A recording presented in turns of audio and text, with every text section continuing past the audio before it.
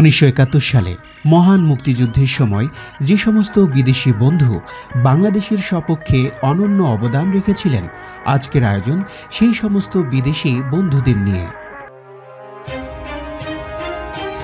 ইন্দিরা গান্ধী উনিশশো একাত্তর সালে ভারতের তৎকালীন প্রধানমন্ত্রী ইন্দিরা গান্ধী ছিলেন বাংলাদেশের বিশ্বস্ত বন্ধু। মুক্তিযুদ্ধের সময় সংঘটিত মানবিক বিপর্যয় সারা বিশ্বে প্রচার করেছেন Indira Gandhi.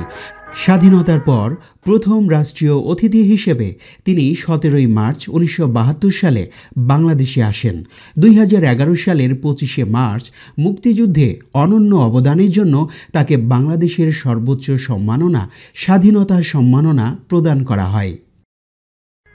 W S Ouderland Netherland বংশোদ্ভূত অস্ট্রেলিয়ান নাগরিক ডব্লিউ এস ওডারল্যান্ড উনিশশো একাত্তর সালে বাটাসু কোম্পানির এক্সিকিউটিভ ডিরেক্টর হিসেবে কর্মরত ছিলেন। মুক্তিযুদ্ধে একমাত্র বিদেশি বীর প্রতীক ওডারল্যান্ড দুই হাজার এক সালে মৃত্যুবরণ করেন।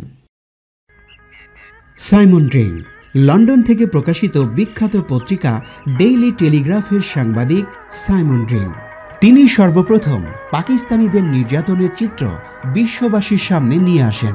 তার প্রকাশিত সংবাদের শিরোনাম ছিল tank crash revolt in Pakistan.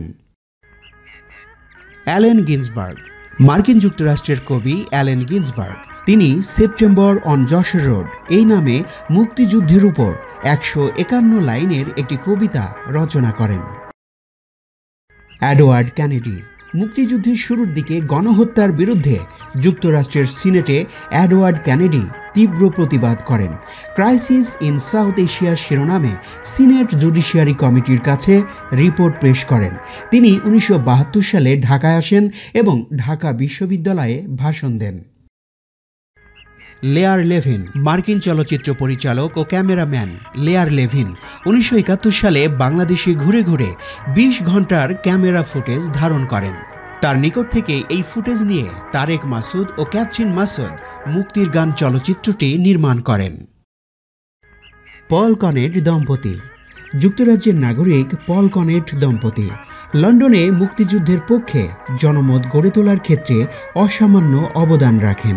তারা বাংলাদেশিদের সহযোগিতার জন্য অপারেশন ওমেগা নামে একটি সংগঠন প্রতিষ্ঠা করেন।